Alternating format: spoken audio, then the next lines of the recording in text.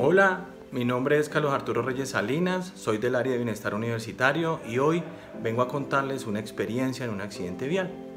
Hace muchos años, tenía unos 24 años de edad, recuerdo muy bien enero 8 del 95.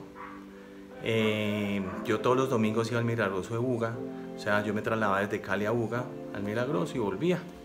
Eh, uno de esos tantos domingos, pues yo iba en carretera eh, y andaba a mucha velocidad, yo me encantaba correr, nunca me di pues las consecuencias de que pudiera pasar algo y ese día se me atravesó una moto en carretera y por no cogerlos hice una maniobra demasiado fuerte, perdí el control del carro, me estrellé contra un poste, eh, rodé dos cuadras con el poste, gracias a Dios salí vivo, eh, me partí los brazos, me fracturé las piernas, tuve cirugía en todo mi lado derecho, en el brazo y pierna por fracturas expuestas, la recuperación fue muy larga, estuve varios meses en la clínica, Salí después, estuve en silla de ruedas, eh, muletas, bastones, hasta que volví a caminar. En ese transcurso me demoré unos dos años en volver a, a recuperar todas mis funciones. Fue algo difícil, de verdad, pero tuve el apoyo de mi familia que estuvo todo el tiempo conmigo, alentándome, ayudándome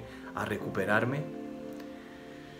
Eh, solo quiero aconsejarles que tengan mucho cuidado en las calles. Eh, siempre tengan precaución. Podemos nosotros eh, creer que tenemos el control, todo el control en nuestras manos y no es así.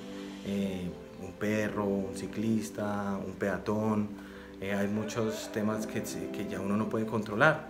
Entonces tengan en cuenta que tu seguridad está en tus manos y haz de tus buenas prácticas una realidad. Politécnico Gran Colombiano